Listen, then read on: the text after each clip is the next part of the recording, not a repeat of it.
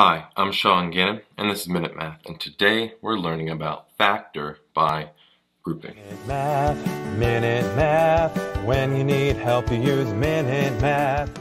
We're given this problem right here. 63n to the third power plus 54n squared minus 105n minus 90, and we want to factor this completely. Well, first thing I'm looking at here is saying, okay, is there something that actually goes into all three parts? I noticed that.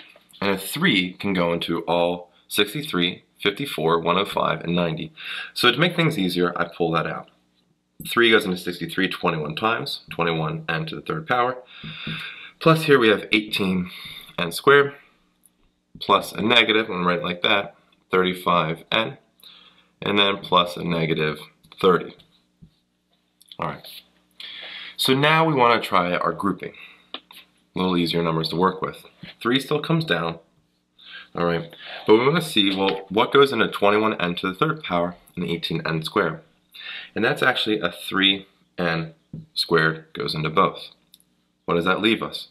Well, 3n squared goes into 21n to the third power, 7n times. Same question with 18n squared, and we're left with a 6.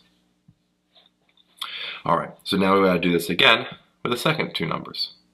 Well, negative 5 goes into both of these, so we pull out a negative 5, and what are we left with? Well, a 7n plus 6. And that's kind of our goal. Notice the 7n plus 6 written twice here.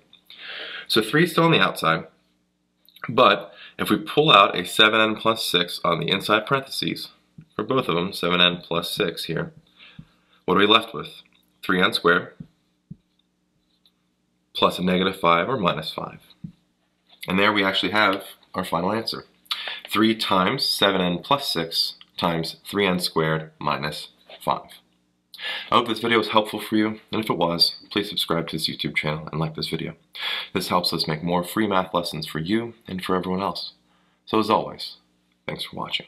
Minute Math, Minute Math, when you need help you use Minute Math. Minute Math. Minute Math. When you need help, you use Minute Math. MinuteMathTutor.com.